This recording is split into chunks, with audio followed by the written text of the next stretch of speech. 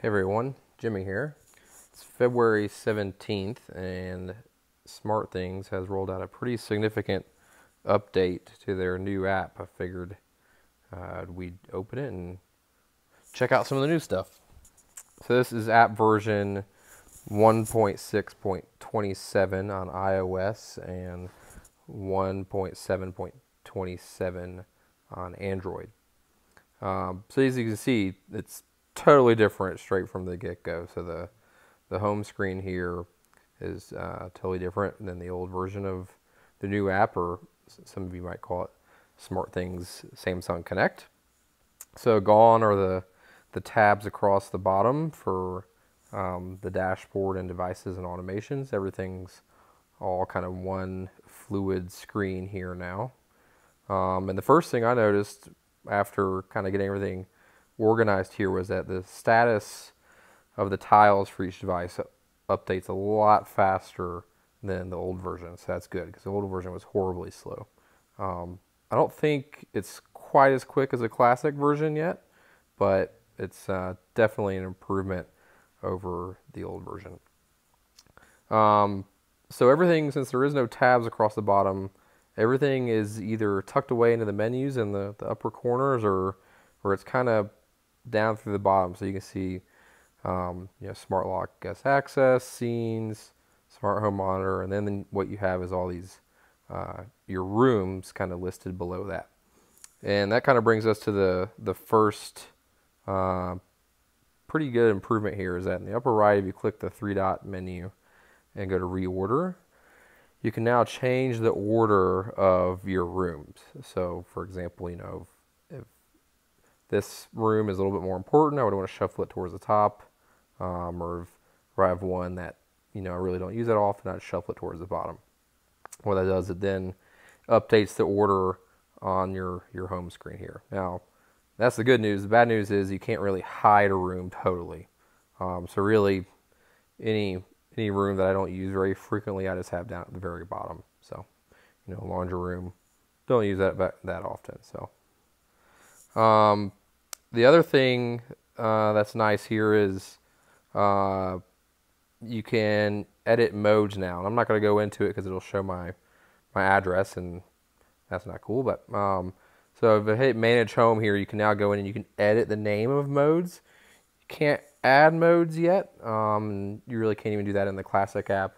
You have to log into the the website to do that. Um, but it's possible. You can also change the wallpaper that's behind um, everything here.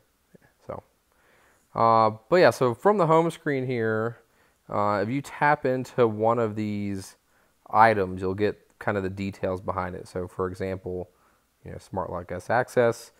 This page, if you use this smart app, looks pretty much the same, so no changes here. Um, but like scenes, for example, all these icons are totally different. Um, and you can now there's this concept of favorites. So you can see I have quite a few scenes, but the ones that I want to show up on the dashboard, um, I, you can add to favorites, and that's just this in, on iOS. This is a case of holding and dragging it up to the the favorite section. Sometimes it takes a little finesse. There it goes, and now you can see it's added to the the home screen here. Same idea with rooms. So if you you know you go into one of these rooms, you can drag things up. And I haven't found a limit yet on the, these. I've um, I think I got up to six in one room before kind of thinking that was a little much, but um, so you can drag items to your, your favorite section there, and that's what will here show up on your home screen. Um, and one thing I guess while we're down here looking at these device tiles is the the icon changes depending on the um, the status of the device. So you can see in my outside room here, uh, the front porch is on, so the icon is like a, a black with a pink slider, whereas my deck is off. And those the three bulbs there are all on. They kind of glow orange. You see a, and here's like a, a bulb that is off is kind of a gray symbol. So, and if I were to, to quickly want to change one of these, you just tap the the tile above kind of the dividing line, and that brings you into or that quickly changes the status of, of that light. In this case, a light You know, same idea if it was a, you know, a garage door opener in this case or a lock or anything like that. Um, the other menu on the, the home screen here in the upper left is where you're going to find your settings, your account information, um, change locations if you have multiple locations, things like that, your, your history. Um, it's now named history in the old, and the previous version was named notifications. So this is a, a better kind of representation of what this section actually does. So as you know, notification history, activity history, things like that. Um, also in this hamburger menu in the upper left, you can get kind of the old version of just a device list. Um, and one kind of cool thing here is if you kind of drag down, there's now a search function. So and he's got a, a history, right? So if you wanted to, weren't quite sure what room a device was in or anything like that, if you wanted to quick it, kind of jump to it, you can tap into it and go in straight to the device page from there. Um, see, anything else new here? Uh, not really. Otherwise, these are where kind of they moved some of those tabs from the the previous uh, version of the app are now kind of hidden over here. So you see automations, same functionality here, just a different kind of look and feel to the UI that they're using, and it's it's all based off of Samsung's one U, one UI. So that's kind of the direction they're moving with this app. Uh, okay, so let's go back. From um, here, another thing you'll notice is is really every single device page is different now. So if you, you tap below the line on the tile there, it'll bring you into the, the, the full page itself. So you can here you can see everything's kind of out in big chunky tiles. Uh, so kind of one that I found that looked I thought looks a lot better is a, a thermostat device page now. looks pretty cool. Uh, so you kind of you know if you want to change the temperature, you kind of drag these sliders across and it it it sends the change over. Um, and so here's kind of what a thermostat one looks like. If I kind of jump back, and this is a my living room lamp is a, a full color bulb. You have a color picker, dimmer, temperature, things like that. And then the only other one I thought that was interesting was your uh, like a multi-sensor. Kind of has everything. You know, it's nice. It's a little easier on the eyes, in my opinion. I know this is kind of a, a personal preference thing, but everything, you know, is big tiles, easy, fairly easy to read, things like that. Um, the one that thing that I did notice that had a little more functionality now is if I go into the one for my hub. So I have a a V3 hub. Uh, so then kind of the newest hub that uh, SmartThings has or Samsung has. The one thing I noticed different here is you can now, if you tap on the kind of the refresh symbol on the device firmware update tab, you can now choose what type of firmware updates to allow. In the in the previous version, you could only turn it on and off, and so you really couldn't tell if you were allowing all firmware updates or if you were allowing um, firmware updates for everything except for bulbs. So, um, there, you, so you can now choose the same three uh, settings for firmware updates as you have in the uh, the web IDE. Okay, um, so moving away from the home screen, the uh, let's go into one of these rooms again. There's a couple unique, or I guess I am already in the room here. Um, a couple unique things here. So in the upper right, if you hit the the three dots, you can see there's dialogues now for managing room, adding devices, and so you can kind of move around your devices. So if you do manage room, this is where you can choose the wallpaper. So there's all these different wallpapers now that you can choose from that go behind it. The uh, the the background of the room. You can't add your own pictures or anything. I don't know if they intend on doing that in the future, but um, there are several things you can choose from here. It's some of them are a little easier to tell. I guess the intent, you know, a towel could be a bathroom or something like that. But some of these are kind of, I don't know what decorations these twigs and the, the vases are supposed to be. But anyway, so you can choose a different wallpaper for your, your rooms. Uh, for moving devices, so, you know, add devices from other rooms. Here you can just pick different devices that you would want to move over to this room. Um, one thing kind of while we're talking about rooms is uh, when I first launched the app, it did force me to put devices into a room. So previously you could leave devices kind of unassigned without a room. this did force me to, to pick a room. So you could always just create a room that was just miscellaneous stuff if you wanted to. Um, yeah, so that's kind of the idea behind rooms, and we talked a little bit about the functionality of favorites um, and how that works. So, okay, so back to the home screen. Uh, as you can see, kind of navigating around is pretty quick. Um, there's not really much kind of lag between uh, kind of poking around the app. Uh, one other thing, so if you go to add a scene now, this, besides kind of different icons, is pretty much the same, but there is one thing that is new now. Um, if you go to add an action, so before when you were creating a scene or editing a scene, you could only add devices to change it to, and it's, you know, that's lights, thermostats, locks, things like that. You can now add changing the mode to a scene. So um, this is something, so the new app does not support the routines function that the, the classic app does. So I have a feeling this is kind of one step closer to to moving where kind of the future of routines will, will go from classic to new app.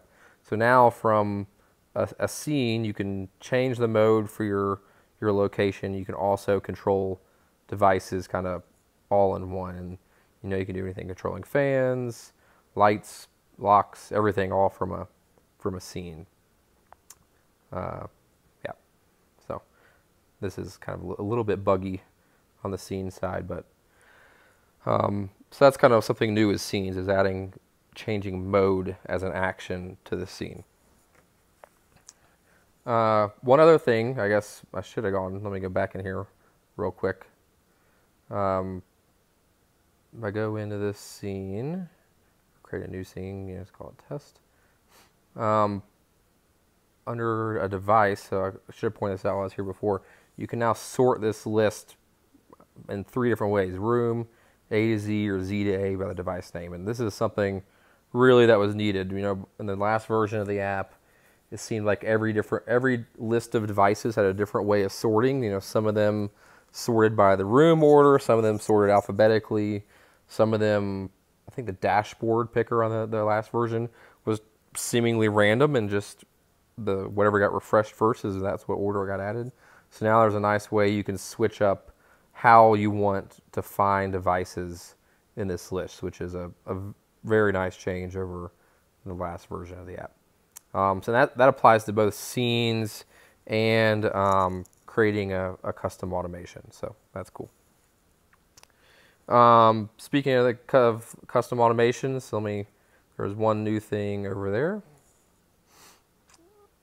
Um, so if you haven't used this before, this is actually a pretty neat little tool in the new app, and it's kind of a as you as you can see, it's an if then or if then um, setup. And the cool thing here is you can actually have multiple ifs and uh, multiple thens, so you can have multiple action, multiple um, criteria to kick off an, an automation.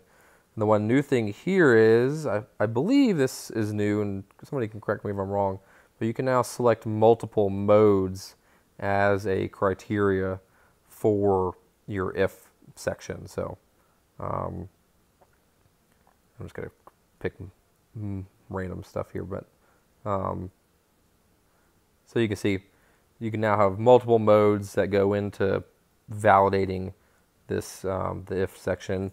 This might make sense if you were using um, an OR statement, so when any of the the following conditions are met. Um, that way you could restrict some of your automations by by mode, but so that's something new on the uh, custom automation side. Now, there's still, I checked, there they still have limits around the actions that you can take. You still can't unlock any doors. You still can't um, change smart home monitor status automatically. Um, so it remains to be seen whether those will be added or not. So, but it is not in, in this version of the app at least. Um, oh yeah. So the, the the device picker is the same as the scenes one, where you can sort it in those three different ways, however you want. uh, okay, so the other big change in this version of the app is when you add a device, so the flow is totally different from the, the last version of the app. Um, there's kind of still the idea that Samsung puts all their, their devices as kind of priority the, the top here. But now, instead of sorting things by category, they sort them by brand. So you can see every every brand that is supported by SmartThings has a nice little icon here with you know devices underneath it. So you could pick something. So I tapped IKEA in this case, and then assuming they all have the same type of device, it sends you straight into picking what hub it goes to. So I only have one hub. You get a warning if it's not a Samsung um, device. And then you pick the room it's going to go into. And only then, let's see if it works here. This has been hanging up on me a little bit. There it goes. So only then does the hub go into pairing mode and is ready for you to, to join that device. So uh, before you kind of just picked the device and it would go into pairing mode and then you can later put it into a, a, a room. Um, but it is, um, there's a little bit different flow now.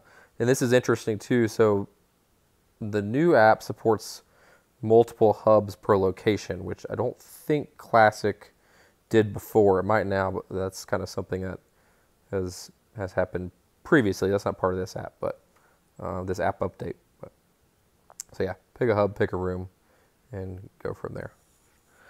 Um, yeah, so that's pretty much all I had um, found. Oh, one thing because this is a little weird with the with the V3 hub since it does support QR code scanning on the SmartThings devices. This auto detect down here still does not put the the V3 hub into a um, an open pairing mode for um, Zigbee and Z-Wave. It's I think this is all only auto detecting uh, LAN devices on your network. Um, you still have to if you have a device that's not technically supported by SmartThings, um, you still have to go in and pick a pick a supported device in order for it the hub to go into general inclusion mode for Z-Wave and Zigbee. So kind of a little workaround you have to do with the with the V3 hub, but that still is kind of the same here. But all right, so yeah, that's um that's all I had found. So let me know if you guys have seen anything else. Um, otherwise, in my opinion, this is a, a pretty good update um, as far as usability of the new app. Um, still a little bit ways to go in features that are missing from Classic. Um, we'll see if some of that stuff gets brought over before they fully retire it, but I hope so. Um, but yeah, definitely a, a worthy upgrade in my opinion. All right, have a good one, everybody.